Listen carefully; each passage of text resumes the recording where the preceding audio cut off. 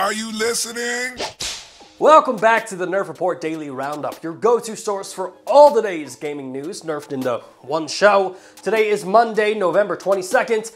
And here are today's top stories from the world of gaming. First up today, we have a brand new game which released on Google Stadia today, this time in the form of Farming Simulator 22, which has officially released for the cloud gaming platform. Kojima Productions has announced the opening of a new division in California, which, according to the developer, this new division will primarily focus on exploring development into film, television, and other forms of entertainment. IGN dropped a first look at the upcoming Spider-Man update for Marvel Avengers, which dropped a bombshell amongst gamers in which they revealed that Spider-Man will be the first hero to join the game without their own story expansion. According to IGN, Simon Cardy, Spider-Man on the other hand will have his own move and fighting set, along with three heroic abilities, 40 different spider suits, and web-slinging capabilities. The Analogue Pocket pre-orders will begin to ship out on December 13th. Brawlhalla has announced a new crossover with Street Fighter, which will see Ryu, Chun-Li, and Akuma come to the game. Sea of Thieves has announced a new in-game event called the Feast of Bounty, which will be taking place between November 22nd and November 29th. The Feast of Bounty will add new challenges, which include gathering food, cooking meat, and snatching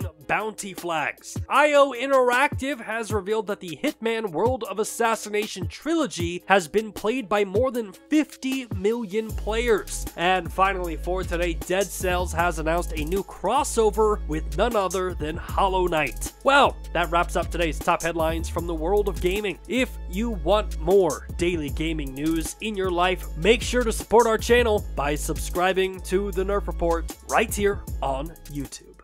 Hey, thanks again for checking out our channel. If you like what you saw and you want to see more content just like it, which who wouldn't, uh, hit the subscribe button right there. And while you're down there, hit the like button. Maybe even consider becoming a Nerf Report best friend, just like the people listed down below did.